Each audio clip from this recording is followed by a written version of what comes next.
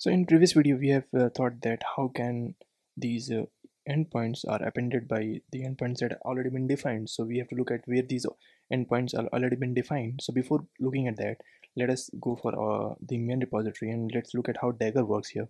So for Dagger, uh, for this uh, constructor main repository, we are not calling anywhere. So where this constructor is called, the constructor is being called by the Dagger so let me show you the little bit part of the dagger that calls this constructor and provide the instances of movie API services and more info API services since we are not uh, providing any uh, here. So we are just adding the references. So uh, let's look at the uh, main activity module I think. Yeah main activity module. So inside of main activity module there is a method that we have declared uh, at, uh, with that provide annotation so it will provide the um, instance of main activity repository so main activity repository and it will call the constructor of main repository. So there is a constructor where uh, we are calling uh, we are passing the instance of movie API service and more info API services. So you might have thought that where from from where these in instances are uh, being uh, provided. So this is the uh, where the dagger comes into picture.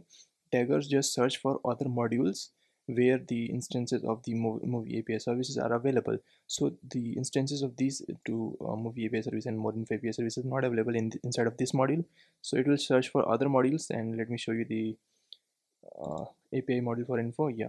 So here it maps the return type uh, with the return types. So this returns the movie API service. So it will just call the provide API service method from here. Okay. So the provide API service method called the provide retrofit method and this provide retrofit method been called from here and it requires an instance of OK HTTP client that's been called by uh, this method and return an OK HTTP client. So this is all how Daggers works and there is uh, the part we have already set the base URL.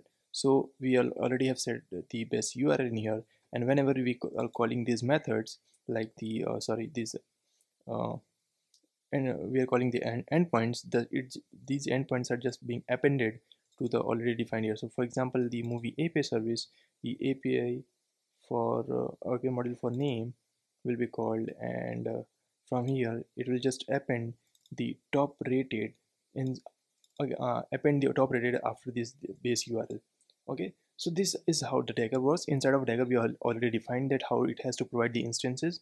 And uh, since uh, the through the process of providing the instance we have already said how what the base url is and what api keys are. So inside of our main uh, repository we just need to reference the instances. Okay? Fine. We have already created the list of uh, countries and results. So inside of country there uh, inside of the instance of the list of the strings of countries we will be storing the countries of for the movies and there will be results where we'll be storing the name of the movies right so after the instances has been provided by Dagger, we have some methods that we have implemented and since we are uh, implementing the interface main activity repository, we have to override all these methods. So this is uh, these are different method that's not been uh, overridden and it's not the part of interface. We have uh, created for ourselves to check out that if the result is updated or not.